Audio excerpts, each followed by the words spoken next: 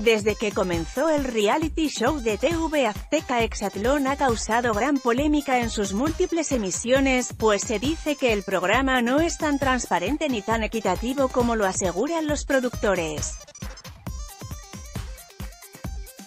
En esta ocasión, Exatlón causó gran indignación entre los televidentes en su pasada transmisión, pues los mismos se dieron cuenta de que uno de los participantes se dejó vencer para que pudieran eliminar a una integrante de su equipo.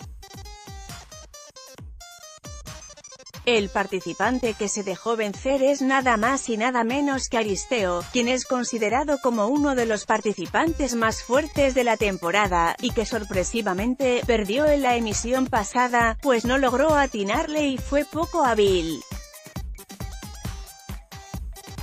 Lo anterior desató la furia de los seguidores de Exatlón, dado que esta acción provocó que su equipo se fuera a eliminación y ahí fue cuando Ana Laura González falló contra Carmelita Correa y fue expulsada de la competencia.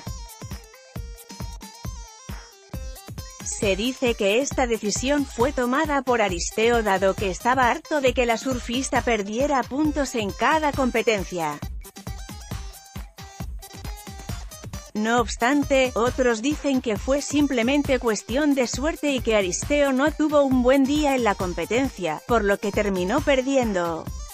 Hasta este momento Ana no ha emitido ningún comunicado al respecto, pero expresó sentirse muy feliz de haber participado en este gran proyecto. ¿Crees que fue estrategia o suerte?